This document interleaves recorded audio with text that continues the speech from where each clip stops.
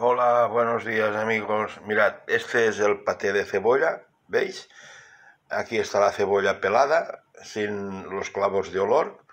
Luego están los anacardos, he puesto aceite de oliva, un chorrito del caldo, del caldo donde están las esencias de lo que es eh, la hoja de laurel, la cebolla, eh, el, el clavo, ¿de acuerdo? Y aquí los 50 gramos de anacardos, ¿de acuerdo? ¿Eh? Y ahora pues lo trituraré todo.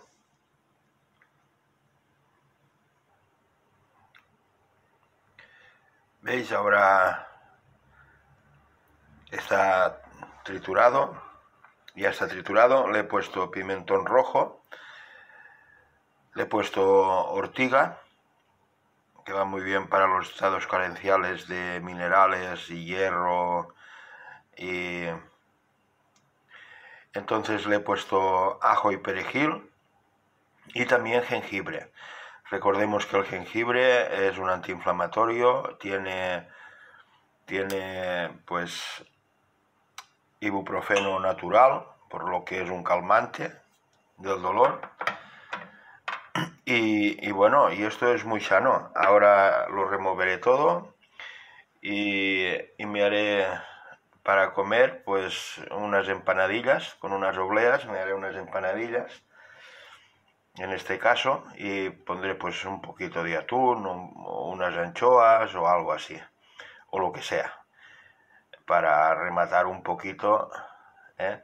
y luego aquí con el caldo con el caldo de que hice depurativo para limpiar el riñón y encontrarme mejor del riñón, pues para no beberlo durante todo el día, pues me he hecho un primer plato aquí con patata, calabaza roja, que es muy saludable para pues para el intestino, lleva mucha fibra y arrastra mucho y bueno, tiene muchas propiedades, también la calabaza roja. Eh, un consejo que me gustaría daros es que no utilicéis sales refinadas, porque las sales refinadas lo que ocurre es que lo que ocurre es que, tiene, necesita absorber de nuestros minerales para mm, poder digerirla. ¿eh? O sea, cada vez que consumimos sales refinadas o azúcares refinados, este producto lo que hace es absorber nuestros minerales para poder digerirlo y nos perjudican. ¿eh? Tampoco confiéis mucho con muchos, muchos productos que azúcares que ponen morenos, ¿eh? azúcar moreno y resulta que no es azúcar integral, es azúcar que pintan con eh, la misma melaza del, la misma melaza de la caña. ¿eh? Pero lo pones en el agua y veréis que el agua se pinta del color marroncillo y el azúcar queda blanco. Este azúcar es un azúcar refinado pintado de color marroncillo, o sea que de integral no tiene nada y de moreno tampoco. Es un colorante que ponen encima. Y ese colorante pues habría que saber si lleva algún condimento químico para que se fije en el azúcar o simplemente es la propia melaza del, azúcar cuando lo tuestas. ¿eh? Porque cuando calientas el azúcar pues se hace como una melaza de color marroncillo ¿eh? y entonces es como, bueno, entonces, bueno, mm, deciros esto, que la, alimentación es la, la, parte fundamental para una buena salud.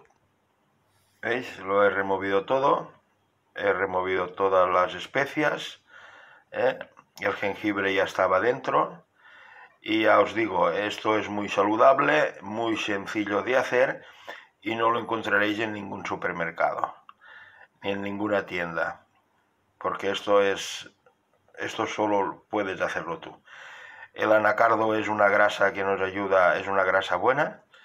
¿eh? Las hojas de laurel tened en cuenta que nos nos bajan el colesterol, los niveles de azúcar en sangre, ¿eh? para las personas que mm, tengamos falta de cromo, ¿eh? porque el cromo es un mineral esencial para, para marcar los niveles de azúcar en sangre, o sea, si estás bajo de cromo, que normalmente perdemos cromo cuando tenemos infecciones, sea donde sea, una infección en la boca, una infección en la orina, una infección donde sea, ¿eh?